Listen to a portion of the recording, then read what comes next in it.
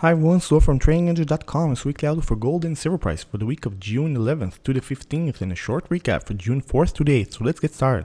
So what happened for throughout, throughout June up to date? As you can see, gold and silver prices continued their very erratic upward trend.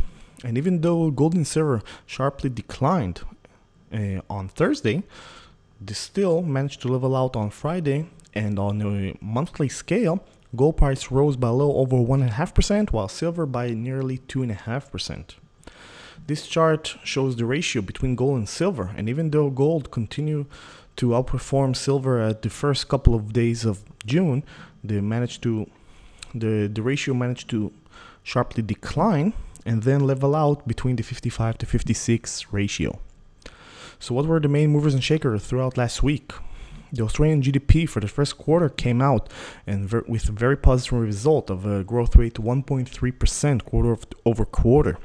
This is v- this is a much better result than many had anticipated and helped rally the Aussie dollar and consequently may have curbed some of the decline of gold and silver at least at the first few days of the of the week.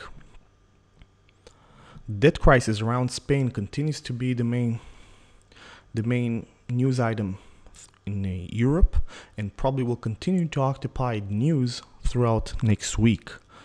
The recent the recent uh, news is that Spain will will uh, will receive from the European Union roughly 100 billion euros to bail out its banks. It'll be interesting to see whether or not there'll be enough, how the banks will react to it, and what word what will be the ramifications eventually on uh, stabilizing the banking system in Spain. Bernanke's testimony was probably one of the main events of the week, as following this testimony, gold and silver sharply declined uh, on Thursday.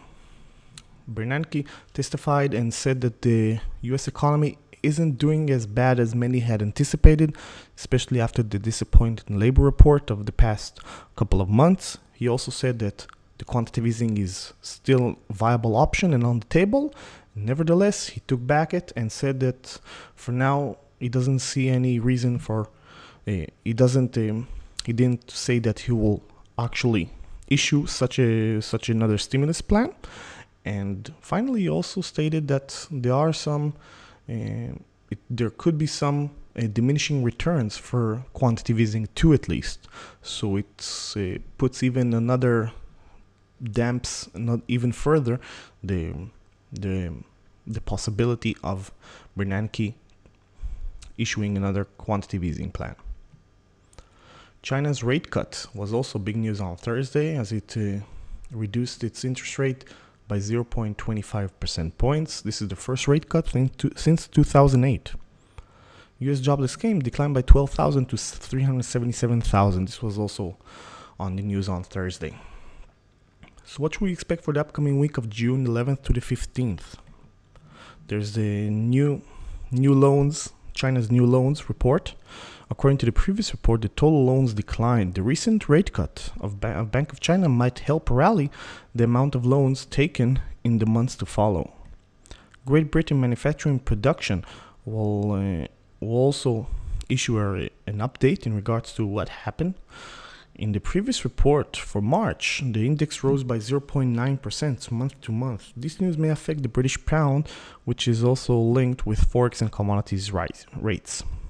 US federal budget balance will be updated for on Tuesday. In this report indicates the government debt growth and thus may affect the US dollar. In the May report regarding April, the deficit shrunk by 59 billion dollars to a to a total deficit of 790 billion for the fiscal year of 2012. If this this trend will continue, it may positively affect the US dollar and thus adversely affect bullion rates. US retail sales report will be released on Wednesday. In April, this retail the retail sales edged up by 0.1%. If there will be sharp shifts in this report, it could have some indication in regards to the development of the US economy. US PPI will be released on Wednesday as well. In the previous report, the the index declined by 0.2% and rose by 1.9% in the past 12 months. this news tends to be negatively correlated with bullion rates. So it's interesting to see whether or not there will be some major shifts in this report. On Thursday, there is a bond auction of the U.S. 10 years 10 year bonds. The U.S. government will issue another bond auction. In the previous in the previous auction, which was held at the second week of May, the rate reached 1.86 percent. U.S. Core Consumer Price Index will also be will also come out on uh, Thursday. In uh, April, the CPI remained unchanged, while the core CPI rose by 0.2%. U.S. jobless claims will also uh, there will be the weekly update on Thursday as well. If there will be some major shifts, it could have some effects on the, the U.S. dollar and consequently bullion rates.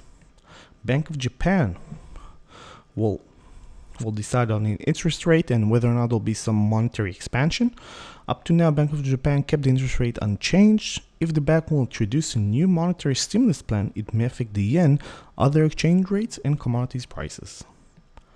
On Friday, ECB President Mario Draghi will give a speech. Follow, uh, the ECB kept the interest rate unchanged according to the last ECB press conference at 1%. If there will be some uh, indications in regards to whether or not ECB will be more involved, especially now with the banking system, the, the collapsing banking system in uh, Spain and its uh, bailout that is about to come, it could have some ramifications on the, on the euro US dollar exchange rate. And finally, there's also on Friday the US TIC long term purchases. The Treasury International Capital Report will present the changes in the purchases and sales of U.S. long term treasuries in April. In the previous report for March, the net foreign sales of U.S. treasuries reached $362 billion.